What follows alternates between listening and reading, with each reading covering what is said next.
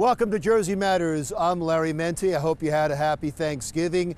Right now, we are in Trenton outside the Department of Health. In a moment, we will go inside to talk to the health commissioner about an outbreak of a deadly virus in North Jersey that is still threatening the lives of children.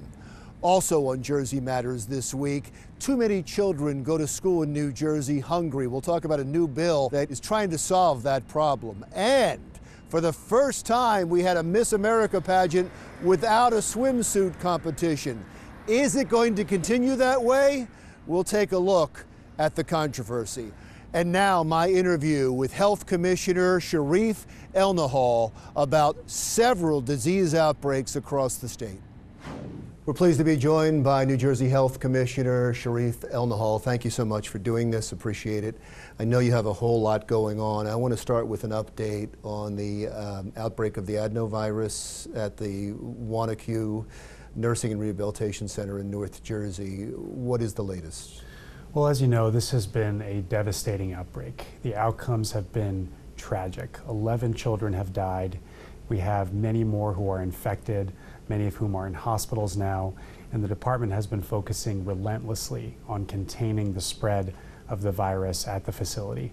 Unfortunately, we don't have the tools that we have for many other diseases and outbreak types that you've seen before. We don't have a vaccine for adenovirus that would work for these immunocompromised kids. And we also don't have a cure for adenovirus. Uh, virus. There's no antibiotic, for example, uh, or other medicine that works, antiviral that would work against it. So really the only tool we have is to prevent its spread as much as possible. Only this past week was the facility finally able to separate ill patients from sick patients. And the department, upon hearing that and upon uh, unfortunately discovering several infection control deficiencies, took enforcement action on the facility that actually required them to separate those patients. And so uh, I had called out for help from the Medical Reserve Corps across the state. These are uh, medical volunteers, clinicians that come uh, to aid in medical emergencies. Uh, the facility was actually able to do it within a matter of a day and a half. And so I ended up canceling that call. But it just goes to show how much action we're taking every single day to control the spread of the virus. It's interesting you talked about how much action you're taking because there was recently an editorial in the North Jersey Record that was critical of, of you and the state response and the facility, saying there wasn't enough outrage, there's not enough being done. Was that true at the time? Have you rectified that or were they wrong? Uh, I don't think that was an accurate representation of our response. And by the way, I've spoken to Bruce uh, since then, the article that, the author of that article. Uh, I share the sentiment about where that article came from. We are really affected by this. We are very upset uh, that this outbreak uh, was allowed to get as bad as it was. Unfortunately, the facilities there limited our ability to separate the patients until very recently, which is what we've determined to be the most important reason why we've seen the outbreak become uh, as bad as it has been. So in response, I wrote an editorial, actually for the record, uh, that explained uh, why adenovirus is so difficult to control, everything we've done so far to control it, and what our next steps are. And so uh, I think I very much sympathize that people want answers. And uh, we've tried to provide as many answers publicly as possible, uh, but I'm confident that the state has done everything it possibly can and more, including the Medical Reserve Corps call, uh, to see uh, if we can't contain the virus as much as possible. You, you say, you just said to me a moment ago that you're doing as much as you can and, and you're doing everything you can do, but I hear frustration. There's frustration uh, about the way, was the way the facility reacted to this? That's what you're frustrated by? I'm frustrated that the uh, virus has affected so many kids and, and, uh, and that could have been so prevented. Well, we're still looking into that. We are doing an investigation. Uh, there's going to be hearings soon on it where we'll get together with the legislature and have a good discussion. I don't want to reveal too much now about that investigation, uh, but we're concerned. We want to make sure that we learn as much as possible about what happened to make sure that the chances of it happening again are absolutely minimized. Uh, and part of that is an investigation of the facility's response. The 11th uh, child died recently you have many more that are in serious condition. What can you tell us about them? I mean, are, is there, what is the outlook for some of them? So the uh, patients in hospitals are scattered in hospitals actually across the state. Uh, and we are following up with those cases every single day. I've been on the phone with hospital CEOs, uh, making sure those kids uh, are being taken care of and understanding what their clinical status is. Uh, right now, uh, we are uh, watching every case closely, including the ones at the facility.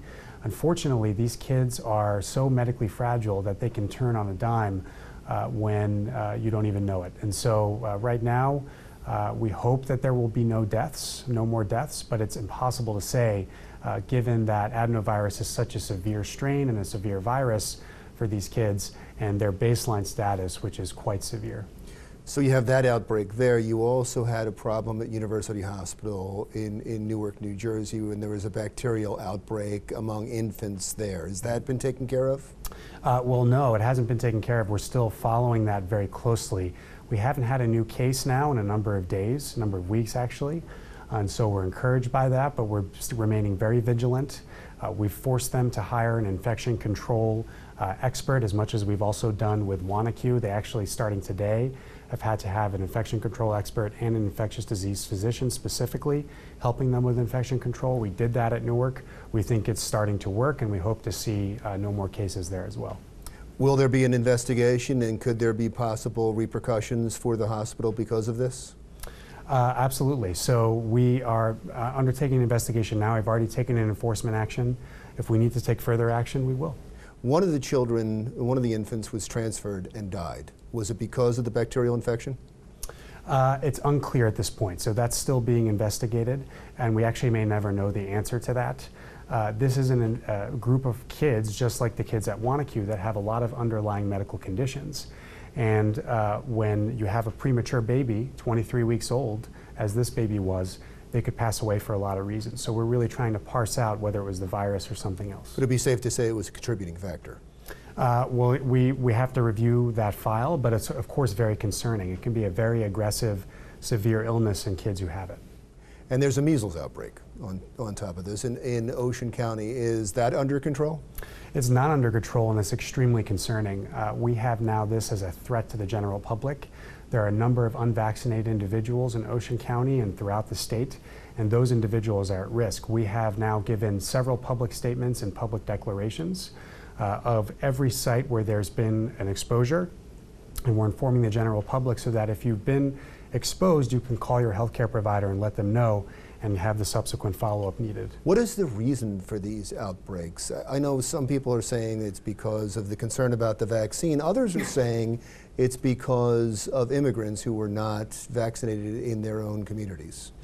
Well, the measles outbreak in particular, if you're unvaccinated, it puts you at risk. And so a big part of what we want to do uh, is make sure everyone is vaccinated that can be vaccinated and get the word out about the importance of vaccination. But and that's a major uh, initiative that we're undertaking. You understand, though, when, when people start talking about immigrants, it becomes political.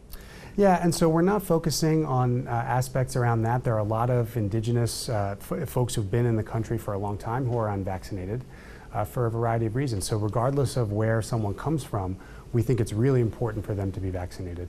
The last time I was here, I came in specifically to talk about uh, legalized marijuana and medical marijuana, and there was so much going on like there is time, this time, we never got to it. When we come back, I want to talk to you about legalized marijuana and medical marijuana and if there should be any concerns as we're moving towards uh, marijuana for the state. That's when we continue our conversation with the health commissioner when Jersey Matters continues right after this.